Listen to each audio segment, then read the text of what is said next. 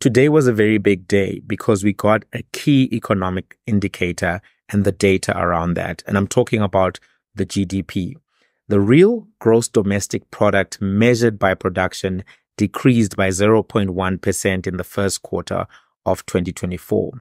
In addition to that, we know that the Reserve Bank has issued projections for GDP this year, and the projection is 1%.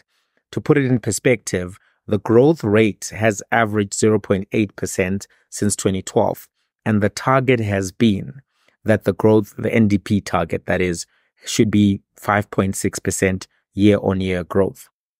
Now, if I'm talking Greek, if, if it's not making any sense, let me break it down. Gross domestic product is a measure of the total value of all goods and services produced within a country's borders in a specific time period, usually annually or quarterly. It's a comprehensive indicator that is used to gauge the economic health of a country. And many people are interested to know um, what the health of a country is. So, for instance, investors need to know what the wealth, uh, the growth of a country is so that they can make an investment decision. The public needs to know what the health of the economy is, and this helps them know. And then also policymakers need to know where a GDP is performing so that they can actually make policy interventions. And this is where the leaders that you have or pick or the combinations of coalitions that you have or end up having have a bearing on the economy. But let's dive deeper. And this data is all from Statistics South Africa. They released this data today. And um, it's concerning data. I don't want to put it in any other way. It's very concerning data considering the challenges that are in the South African economy. So here are the industries that recorded negative growth between the fourth quarter of 2023 and the first quarter of 2024. Here we go. The manufacturing industry decreased by 1.4%. Right? And under that manufacturing sector, five of the, sorry, industry, five of the 10 manufacturing divisions reported negative growth rates in the first quarter. And here they are the motor vehicles, parts and accessories, and other transport equipment division, the basic iron and steel division, the non ferrous metal products, metal products and machinery dis- division, electricity, gas, and water industry as well went down. So basically, a lot of the things that South Africa has been making in the secondary industry have actually not had a strong three months. And that's something that overall we should be worried about because manufacturing has shown weakness. Actually, it was a little bit strong in 2017, 18, and 19, but it hasn't really come back up after the pandemic to those figures. It's really been lower than what it's been. And when you stretch the picture out much further than just 2017 up until now, which would be the last seven, eight years, you then can actually see that manufacturing has consistently been weak and you cannot grow the economy without fixing the issues in manufacturing. And we'll talk about that a little bit later in this particular discussion. The mining industry decreased by 2.3%, right? So mining also not looking good. Construction industry decreased by 3.1%. Agriculture industry went up actually, which was a little bit of a, um, a boost to the numbers. But if you then think about everywhere else where there was weakness, South Africa relies on mining. You do need to have construction. If those two are not performing well, that's going to indicate on your economic indicators as well. Then, when it comes to gross fixed capital formation, that decreased by 1.8%. Now, if you're wondering what the hell is gross fixed capital formation, I wish economists use different language. I really do, because sometimes you know, you just like, why is it? Anyway, it doesn't matter. It doesn't matter. Side chat. Let me explain what that is to you, right? Gross fixed capital formation looks at how many fixed assets did we actually add to the collective of fixed assets. And fixed assets are tangible or intangible assets that are used repeatedly and continuously for more than one year in production processes. Some examples include accommodation, houses, factories, other residences, non dwelling construction, industrial, commercial, and non dwelling residential buildings, water and sewage installation, machinery and equipment, vehicles, aircrafts, ship, ships, electoral, electrical apparatus, land improvements such as fen- fences, ditches, drains, construction of roads, railways, schools, offices, and hospital. All of this falls under gross fixed capital formation. And what we saw under the gross fixed capital formation is that it also went down, right? So when you think about all of these issues, you should really be now getting concerned about the health of the economy because a lot of the key numbers I'm giving you are not positive. Mining is down, manufacturing is down. Then there's another big gross fixed capital formation is down. There's another big sector that you need to be worried about as well. Household final consumption expenditure.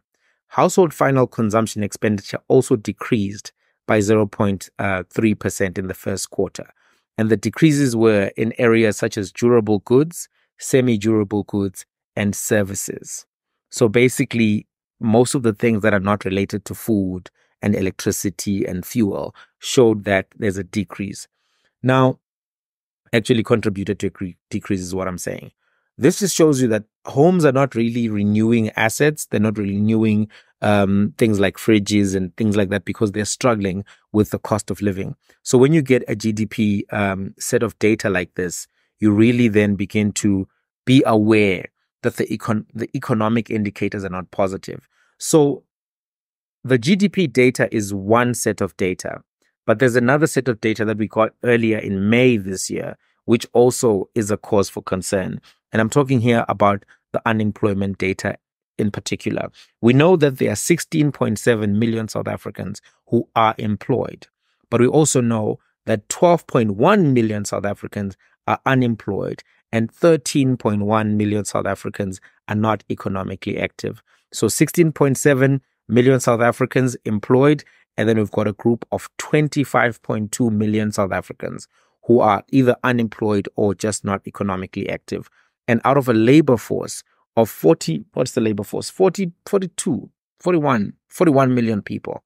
That's a significant number of people who are unemployed. Then you dive into the numbers in more detail, right? In terms of who is unemployed and who is facing that unemployed unemployment, right?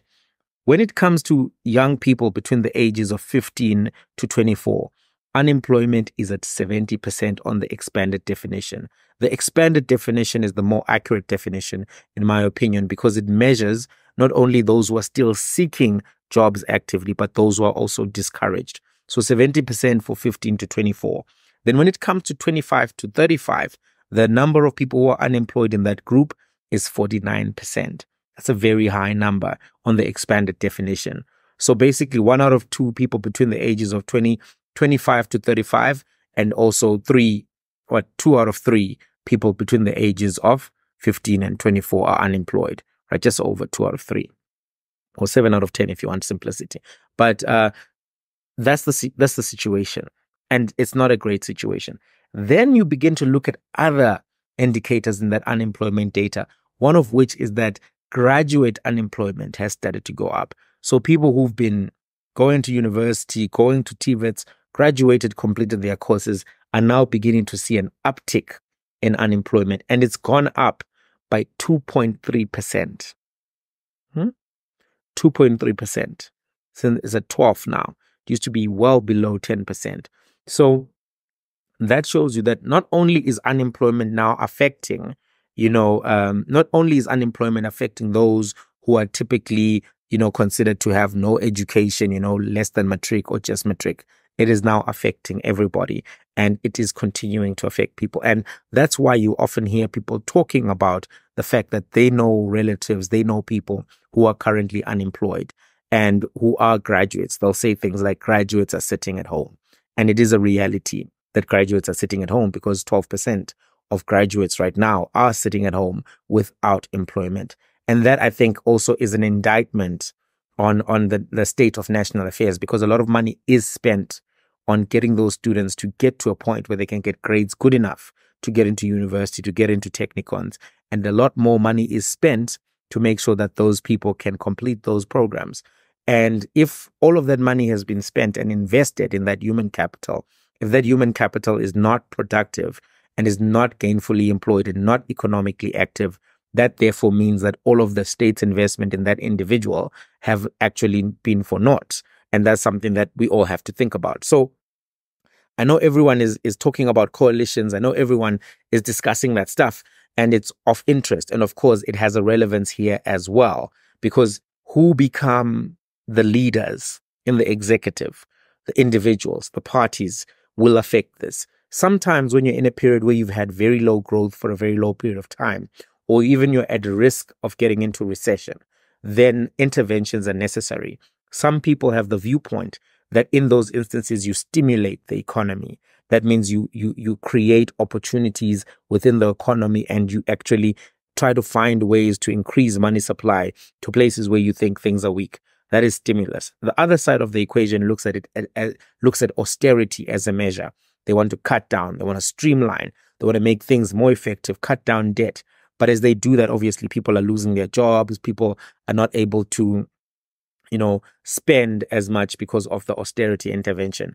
Austerity typically does not lead to increased growth, but it's something that is favored by people who are in the, the markets because it's a conservative approach and it has a lower risk for them. Whereas if you stimulate the economy through various measures, what that can do is become inflationary and devalue the cash assets that those people are sitting on. So you'll find that markets generally do not really like stimulus and are hesitant to endorse that kind of a stimulus strategy. So, as coalitions are being discussed, one of the things that you have to be thinking and asking yourself is what is this particular group of politicians going to do in respect to the issue of the economy, in respect to the issue of unemployment? Because as you continue to see this weakness uh, in the economy, this stagnation in the economy, you're not going to be able to create jobs. You're not going to be able to deal with a lot of the issues that are currently plaguing South Africa. So where where are the fixes? You know, where are the solutions? So one of the places where I like to look for indicators outside of just the South African documents is the World Economic Forum Global Competitiveness Report, right? The World Economic Global Competitiveness Report gives you measures of how a country is performing. So South Africa, in the last one where they were just ranking countries, comparing them directly to each other, was at 60. But it was very strong on finance. Finance was at number 19, but it was very weak in, in a variety of areas. It was very weak on crime. Crime was ranked at 118 out of 141. So crime is definitely a red flashing indicator light on that dashboard, right? Number two, it was ranked very lowly on quality of skills in the workforce and quality of education and training of the workforce. So when it comes to uh, skills of the workforce, the ranking was 101 out of 141. So without going much further, you can see that if we fix the issue of crime and if we fix the issue of skills training for workers, you already go up and then you're able to address the manufacturing crisis, right? So there's a need for for fixing skills, there's a need for fixing crime. I mean, it doesn't matter what you do if you don't fix the crime or try to directly address the crime. Whatever factory you build, whatever can still get stuff stolen from it, so, and then that defeats the purpose, and that's unattractive to investors, right? The other area which was a low ranking area was the issue of health, right? The public healthcare system is funded to the tune of 271 billion. But oftentimes that money doesn't get where it's supposed to go because money can be looted. If you remember the um, what was it? It was the Tembisa Hospital saga where 1 billion was looted due to fraudulent activities with the invoices. So it can be a really serious thing. Um, just in terms of like looting and the impact on the the service delivery in and of itself. The other area where there was a, a discrepancy, which is worth thinking about in terms of how do you fix um, the economy, quick fixes, low hanging fruits. The South African financial sector was ranked in the top 20. But when it came to funding for small to medium businesses, the financial sector was actually ranked very low at 77 compared to their overall ranking. And then when it came to the financing of small ventures or venture capital rather, which is important to create these kind of startups that you've been seeing in the world. also the funding was very low. And I think that was at 90 something. So if you look at that discrepancy in ranking, overall financial sector, ranking for small to medium enterprises funding, ranking for venture capital funding, you can see why you're not seeing a lot of these creative, disruptive companies in South Africa because there's no funding. And you're not seeing a lot of small businesses creating the kind of jobs that everybody talks about because there's no funding. So it's going to be very important going forward that policymakers as well as financiers sit down and try to think about how do we close the gaps for those who are from places like townships or communities where they don't have collateral? How do we fund those ventures? How do we fund small businesses? Because if you don't fund small businesses, you don't have, uh, you know, job creation. You don't also have growth of an economy. The key model of finance, and sorry, not finance, but capitalism, is that I have an idea and I have the capacity to execute that idea, but I need funding to do it. The bank gives me funding. I create this particular product, give them back their money, and they then can relend that money because I paid interest. But at the same time, I've created value in the economy, and that creates growth. Unfortunately, the South African banks have taken a very conservative approach to risk, and they've actually not been funding small businesses. So if you don't fund a lot of small businesses, you don't lose any of the money, right? But you also don't grow any of the economy from that approach. Very conservative, and uh, something has to happen in that respect. We can't look at that discrepancy and think that it's okay. It's not okay. All of the other OCD, uh, OECD uh, countries have actually done much better than South Africa at opening up venture funding and making sure that small businesses are funded. South Africa is far behind right? So this is something that has to be addressed. It's not only the politicians who are responsible for the underperformance. Sometimes it can be the private sector holding on to assets and finances as opposed to participating in the game. And by the way, uh, having four, six, eight banks in an economy the size of 60 million people is also an indication of market failure because that's an oligopoly system. If you go and read economic books about the history of capitalism, you'll find many of the fastest growing economies had sometimes 400 banks, uh, you know, offering financing and also, you know, offering financial services. The fact that there are only four big ones shows that actually something has gone wrong in the South African economy. That's what market failure means. Um, and something needs to be addressed. But obviously, he who leads affects these kind of conversations. But I just thought it would be important for us to also look at that key element. You know, sometimes people just look at politics without looking at economics, right? And sometimes these things are separated from each other to prevent everyone from having a collective understanding of what needs to be done. Realistically, everybody needs to understand politics, philosophy, economics, and sociology. Those for me are four important baseline subjects that everyone has to understand even if they're going to be a doctor, an engineer, a lawyer, or whatever the case may be, because we all need to understand how society works, how the economy works. We all need to develop a philosophical framework to guide our ethics and and um, help us make quality decisions in all of the spaces that we're going to be in. We also all need to have an understanding of politics because the politicians make the laws that govern the society that we all live in, and their systems of lawmaking, law enforcement, of creating you know rule of law in a society that everyone needs to be aware of. So if you're not aware of the politics you're not aware of the ideologies the frameworks and all of that you're not even going to have a, a grasp when the laws are actually formulated and not know how to hold people to account. Unfortunately we don't always have that in the south african uh, space and also just globally people are always often put into these silos where they don't see the whole picture but we need multidisciplinary thinking at a critical time like this because one of the things I didn't mention is that inequality in South Africa remains at an all time high. So the GDP doesn't actually give you an indication sometimes of inequality, but inequality is another measure. And South Africa is number one in the world at inequality. It is the most unequal country in the world. And that also has to be addressed in order to create these kind of opportunities that we think we all deserve. In any case, that's the information from today. I hope you enjoyed it. I hope it provoked your thinking. Uh, comment, like, subscribe. We'll chat in the next one. Peace.